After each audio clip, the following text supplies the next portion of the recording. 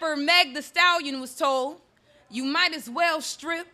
You already half naked most of the time. Black female singers Ari Lennox and Teyana Taylor were called Wop Wilders by a Twitter troll. Black female pop artists are still called not black enough. Serena Williams was expected to quit fighting for equality and just focus on tennis. If you Google Janet Jackson, the 2004 halftime show still appears.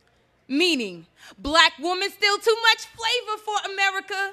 We turn them pop art before pop culture. Get that body popped on, cause that mouth global warming and them hips, earth rotating on its axis. Society say, come on, baby. You didn't think we would let you come here and not work for it. Bend over. Let us see that ass. Shut up. We want to see that ass. Come on, black girl. You looking like a good reason to pay my rent late. I know you'll make it worth it. I heard Mammy showed you how to cook with nothing but them legs.